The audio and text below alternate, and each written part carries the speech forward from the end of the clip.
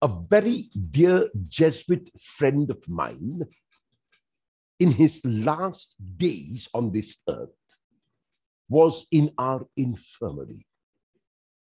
I would go to see him often. One particular day, when I went to see him, he was more excited than he usually was, which he always was when I came to see him. And he called me close and he says, Errol, I want to tell you a secret. And I said, What is it, Father? And he smiled and said to me, God does not forgive. I was taken aback for a moment. And I responded by saying, What do you mean, Father? Look at the texts in the New Testament. Have you read the prodigal father, where the father forgives the son, even though the son does not complete his act of contrition? Have you not read where Jesus says, I have come to call sinners? Have you not read the proclamation of Jesus in Galilee when he said, God first loves. Have you not read 1 John 4 19, where John says, We love because God loved us first? He let me finish.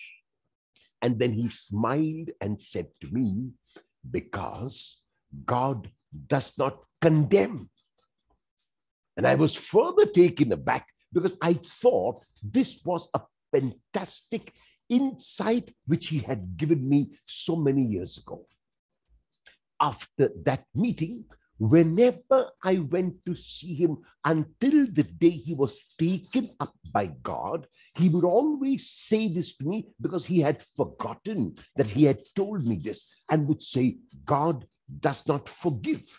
And in order to keep the banter going, I would say to him, What do you mean, Father? Have you not read the prodigal son? Have you not read the proclamation of Jesus? And he would smile and say to me, Because God does not condemn. And I said to myself, If this is all that he remembers, it is enough. God does not forgive because God does not condemn. The gospel text of today speaks not of the forgiveness of God, but of the non condemnation of God. In the gospel text of today, Jesus has no need to forgive the woman caught in adultery because he has not condemned her. It is important to note, however, that Jesus also does not condemn the condemners of the woman, he condemns no one. Many fanciful interpretations have given to the action of Jesus writing on the ground when he is asked the question about what must be done with the woman. While some think that Jesus was writing the sins of the bystanders, Others think that he did not hear the question or that he was taking time to come up with an adequate response. Still, others think that Jesus was overcome by shame and embarrassment at the question and so bent down and wrote with his finger on the ground so as to hide his face from those who were asking the question. However, nothing in the text allows such interpretations, and it seems very likely that the reason why Jesus bent down and wrote with his finger on the ground was to distance himself from the situation and refuse to play judge. It seemed to him that those who were condemning the woman had already made up their minds. And as John tells us, they asked the question to test him. So Jesus did not want to enter into that controversy. If someone had made up their mind to act, what could Jesus do?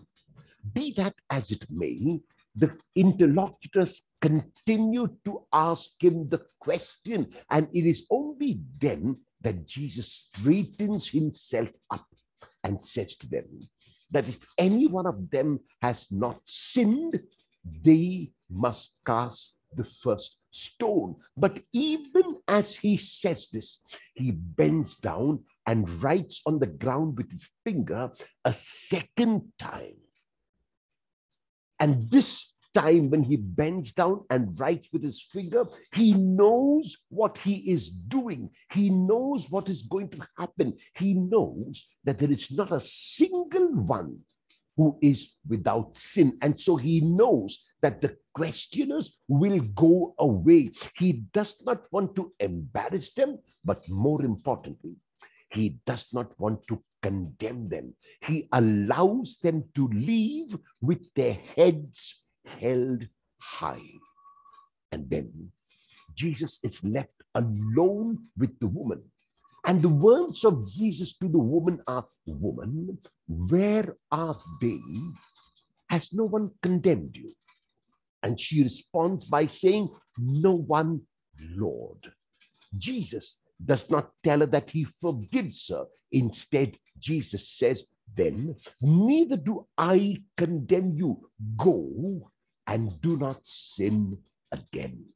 He challenges this woman to repentance, to metanoia without forgiveness. He challenges this woman to a new way of life, to a new vision, to a new way of looking by not condemning her. This love which Jesus manifests to the woman and manifest to everyone was a love that was unconditional and is narrated in the first reading of today when through the words of Isaiah, the Lord promised the people a new thing. This was because the former things were not remembered anymore. They were forgiven and erased. The new thing which the Lord will do is to make a way in the wilderness. The Lord will travel like a shepherd on this way and will lead his flock to safety and to nourishment. This is also the new thing that Paul is convinced he has received, and because of which all the old or former things are of no consequence whatsoever. They are to be counted as refuse when compared with the gain of knowing and experiencing the unconditional love of God, which is made manifest, made tangible in the person of Jesus. This is also made explicit in the words Jesus spoke to the woman caught in adultery when he says to her, Do not sin again. He is not stating what is required for acquittal. He is acquitting freely and without reservation. This unconditional love has to become the starting point for a new life that every one of us, beginning with the woman, is challenged to live. The readings of today are thus a consolation to everyone, no matter to which category we may belong if we are like the those who condemn the woman in the gospel story of today, quick to condemn others and point fingers at them, the readings are saying to us that God will not condemn us for condemning, that God will not point a finger at us. We have not been condemned for this sin and have been forgiven unconditionally if we identify with the woman in the gospel text of today, then to us too, the message is that there is no sin because it has not been condemned and we have been forgiven unconditionally. However, no matter with whom we identify, the next step after having experienced the forgiveness of God in Jesus is, like Paul, to forget what lies behind, to forget what lies in the past, and to strain on to what lies ahead.